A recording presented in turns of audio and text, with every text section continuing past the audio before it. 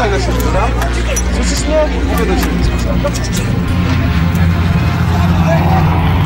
22 sierpnia na Starym Mieście powstańcy odpierają atak czołgów i piechoty niemieckiej na barykady na Nalewkach i Długiej, broniące dostępu do Placu Krasińskich. Wieczorem po ciężkich walkach Niemcy obsadzają zrujnowany arsenał.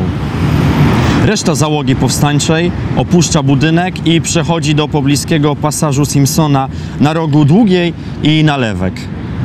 W Śródmieściu oddziały powstańcze przystępują do natarcia na gmach tzw. Małej Pasty przy ulicy Piusa XI. W północnej części Śródmieścia powstańcy odpierają natarcie wroga na fabrykę Bormana przy ulicy Towarowej.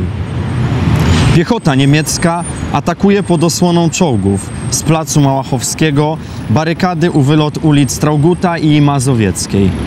Powstańcy zdobywają placówkę niemiecką w restauracji Krystal na rogu Alei Jerozolimskich i Brackiej, ostrzeliwującą przejście przez aleje. Około godziny drugiej w nocy rusza drugie natarcie na dworzec gdański. Uczestniczą w nim oddziały powstańcze z Żoliborza i Kampinosu pod dowództwem podpułkownika Mieczysława Niedzielskiego Żywiciela. Natarcie od strony Starego Miasta wspierają oddziały pod dowództwem majora Wacława Janaszka Bolka. Natarcie załamuje się pod silnym ostrzałem nieprzyjaciela.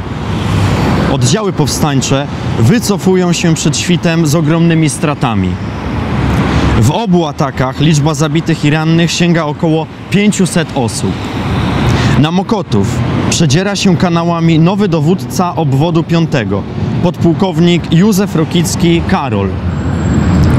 Dzieli organizacyjnie podległy mu teren na Mokotów Dolny, obejmujący rozległe przestrzenie Sielc, Czerniakowa i Sadyby i Mokotów Górny, na zachód od ulicy Puławskiej. Na tym terenie walczy pułk Baszta.